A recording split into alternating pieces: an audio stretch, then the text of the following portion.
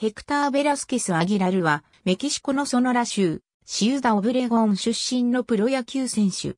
宇藤右打ち。MLB のヒューストン・アストロズ参加所属。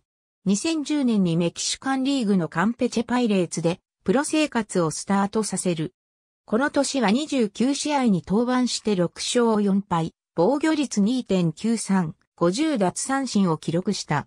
2011年は5試合に先発登板して1勝1敗、防御率4.71、20奪三振を記録した。2012年は19試合に先発登板して11勝7敗、防御率4.40、79奪三振を記録した。2013年は22試合に先発登板して2勝0敗、防御率4.19、91奪三振を記録した。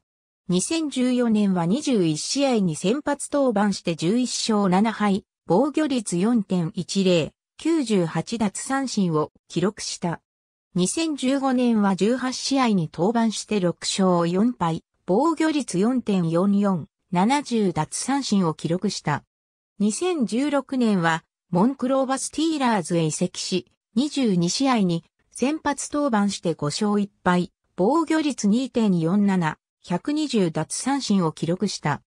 2017年2月18日、ボストンレッドソックスが所属球団から契約を購入する形でベラスケスの獲得を発表した。シーズンでは開幕を参加のトリプル A 級ポータケットレッドソックスで迎え、5月18日にメジャー契約を結んでアクティブロースター入りした。同日のオークランドアスレチックス戦にて先発でメジャーデビューするも5回6失点で敗戦投手となった。2018年は新しく監督になったアレックス・コーラのもと、スプリングトレーニングで活躍を見せたため、開幕25人枠に入り先発ローテーションにも入った。